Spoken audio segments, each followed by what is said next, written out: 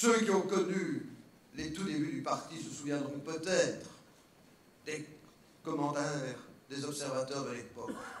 À les croire, nous étions appelés à disparaître très vite, parce que nous étions trop indépendants des piliers de pouvoir, parce que nous étions un parti trop libre.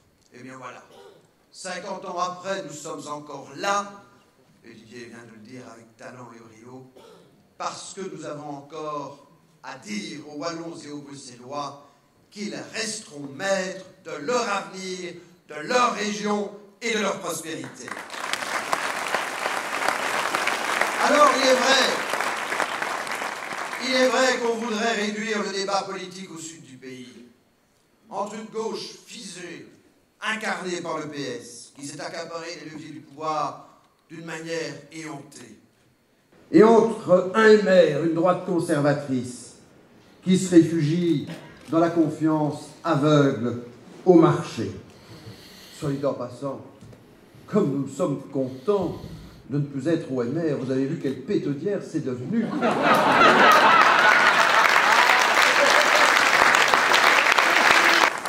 Je ne sais pas si c'est notre départ qui en est la cause, mais vous avez lu sans doute dans la presse qu'ils ont inventé un nouveau concept. Le libéralisme pour tous. Et pourtant, ils ne sont même pas capables d'avoir un programme commun entre Didier Renders et Vincent De Wolf. C'est vrai que nous ne voulons pas que ce débat politique soit réduit à l'affrontement de ceux qui sont pourtant au pouvoir ensemble depuis plus de 15 ans. Et quel est leur bilan? Le bilan du gouvernement de M. Di donne la bonne mesure de l'insuffisance des politiques économiques voulues par le PS et le MR.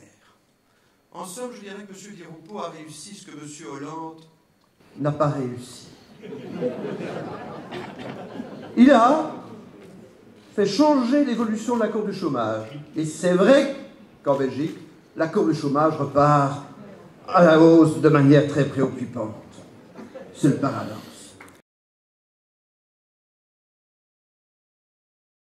Gouvernement d'Irupo Rendes Milquet a ponctionné sur les revenus des particuliers, des ménages et des entreprises 22 milliards, plus de 22 milliards d'euros.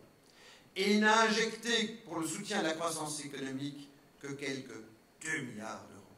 Ce seul déséquilibre explique pourquoi la relance économique n'est pas au rendez-vous en Belgique et pourquoi les pertes d'emploi, l'arrêt des activités d'entreprise et les faillites s'accumulent. Il y a encore eu des records de faillites battus au dernier trimestre de l'année passée. En somme, les partis de pouvoir, PS et MR, en tête, ont épuisé et vidé de sens le débat politique en imposant leurs clichés surannés plus préoccupé de satisfaire aux exigences nationalistes de la Flandre, en scindant BHV, en régionalisant des pans entiers de la sécurité sociale et en portant ainsi atteinte à la solidarité interpersonnelle, faut-il rappeler toutes les déclarations des partis francophones qui disaient on ne touchera jamais à la sécurité sociale On a vu ce qu'il en est advenu. Le gouvernement d'Irupo n'a pas le courage d'affronter les vrais enjeux et comme moi, vous entendez ces questions revenir de la part des citoyens. Comment seront financés demain les régimes de retraite? Comment préserver la confiance de celles et de ceux qui, malgré des longues périodes de travail, ne reçoivent que des revenus modestes Comment arrêter la montée préoccupante de la pauvreté et de la précarité qui affecte même les familles qui travaillent? Comment réduire la dette environnementale à charge des générations futures? Comment donner un projet de vie aux jeunes qui, même lorsqu'ils sont formés et parfois bien formés, n'ont pas de perspective sur le marché de l'emploi?